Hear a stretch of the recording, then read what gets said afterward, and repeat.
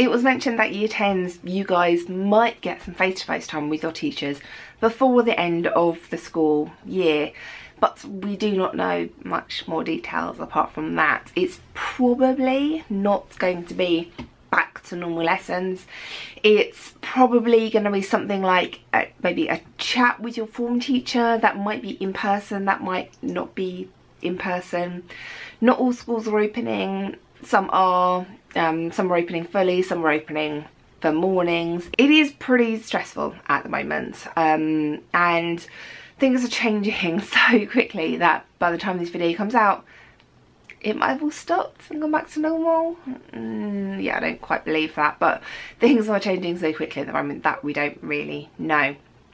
Um, just let you know that after this I'm gonna go and record another video because the whole concept of the autumn exam series that was promised to the year 11s and the year 13s has um, been called into question and uh, we are not 100% sure what is happening with that at the moment. So I think, um, you know, that really, really brings home the message that, yeah, year 10, year 11, these are important years and studying the whole way through is going to be an important thing. But I do understand that studying from home is very, very difficult for you. So at some point during next week when I find a spare half an hour to make the video, I'm going to do how to study maths from home.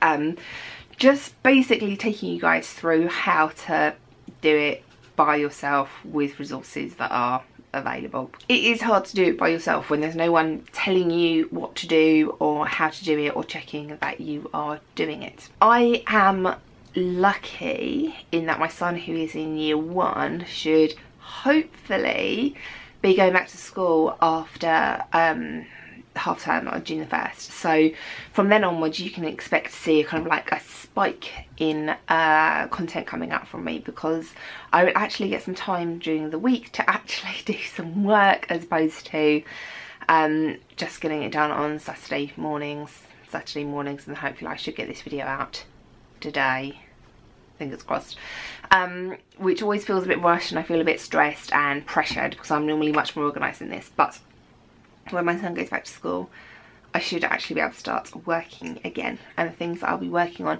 is editing all the GCSE history videos.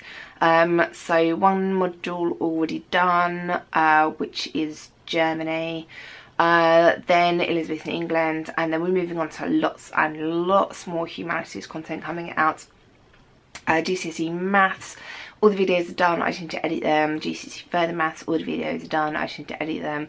GCSE science all the videos are in progress I just need to finish doing a few things. The main thing I'm spending my time on is developing the new website which is so close to being ready. Um, if you've signed up to my old website brilliant thank you. You'll be grandfathered into the new website so don't worry about that. Um, it is going to be a complete online course for GCSE Science, GCSE Maths, Further Maths, Citizenship, History.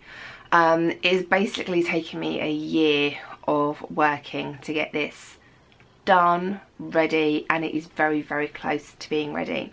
Um, if you want to be one of the first people to find out when it finally is ready and get kind of like a launch 50% off code or whatever it's going to be then join the mailing list down below and you'll be one of the first people to get um, access to it because access is going to be on a yearly basis. So if you sign up kind of like end of June mid June then it will take you a whole way through to year 11 so you can use it for year 10 end of year 10 and year 11 which will be pretty cool. So this is just this is the main point of this is lots and lots of stuff is coming soon um, I wish I could help you more at the moment but I'm slowly going crazy and I'm trying to teach my son and work at the same time.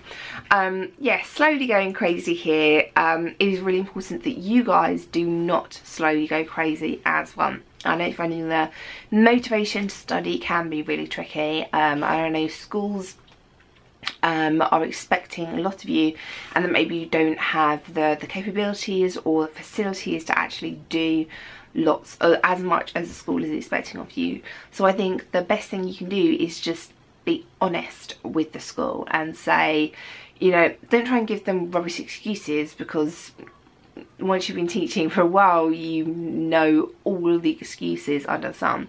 But if you're honest with them and say, look, I've got three younger siblings, my mum's working nights, I need to I need to look after them during the day so that she can get some sleep and I'm doing the cooking and I'm doing the cleaning. Your teachers are going to be very, very sympathetic to this because they are nice human beings. So just be honest with your teachers if you are struggling. Um, be honest with people at home if you are struggling as well and they will I'm sure do their very very best to help you to maybe change things around and um, see what they can do.